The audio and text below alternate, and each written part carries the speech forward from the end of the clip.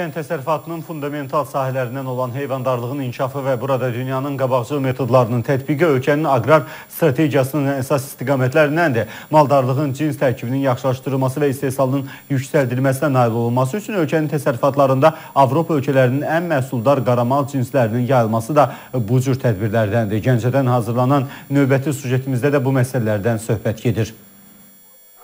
Müddətdir ki, yerlərdəki maldarlıq təsərrüfatları üçün hər il yüzlərlə qara mal cinsləri ölkəmizə gətirilərək güzəştli şərtlərlə fermerlərə verilir. Dövlətin bu cür dəstəyi sayəsində bölgələrimizdə çalışan fermerlərin rifahı əhəmiyyətli dərəcədə yüksəlib. Gəncə yaxınlığında Samux rayonuna aid Bağbanlar kəndində yaşayan bu təsərrüfat sahibi də onlardan biridir. O 2015-ci ilin noyabrında dövlətin güzəştli şərtləri ilə iki baş alman cinsi olan südlük, ətlik, simental inəyi alıb. Bir neçə ay əvvəl isə inəklər müvafiq stansiya tərəfindən süni mayalandırılıb və bununla da il yarım ərzində fermerlərin maldarlıq təsərrüfatı 3 dəfə artmış olacaq.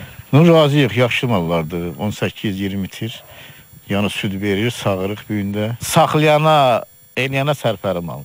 Yəni ailə bir də onunla dolanır. Elə fermerlər üçün belə sərfəli olmasını nəzərə alaraq onların təsərrüfatlarına yönəltmək üçün 176 baş Holstein Fries cinsli il yarımadək yaşı olan südlük heyvanlar gətirilib. Artıq burada heyvanların zəruri müayinə və sınaqları istiqamətində müvafiq baytarlıq tədbirlər aparılır. Hal-hazırda heyvanlarda seroloji müayinələr üçün qan nümunələri götürülür və eyni zamanda davaq xəstəliyinə qarşı profilaktik məqsədlə peyvəndləmə işləri aparılır. Karantin müddəti başa çatdıqdan sonra heyvanların lizik yolu ilə fermerlərə satışına başlanacaq. Onu da əlavə edək ki, təkcə ötən il Gəncə regional təchizat bazasına xaricdən ətlik və südlük istiqamətli 746 baş heyvan gətirilib. Hürəliyeva, Zakir Muradov, Nazim Quliyev, Space Gəncə.